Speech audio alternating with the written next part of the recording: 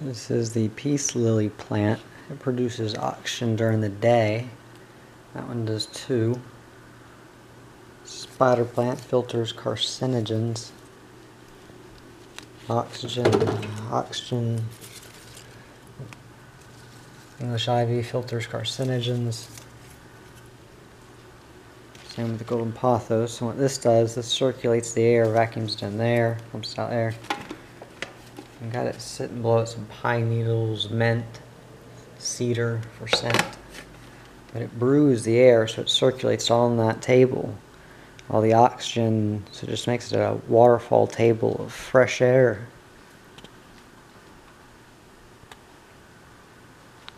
And then got the fan here, brewing up more of the golden pothos, just stirring the air. A terrarium.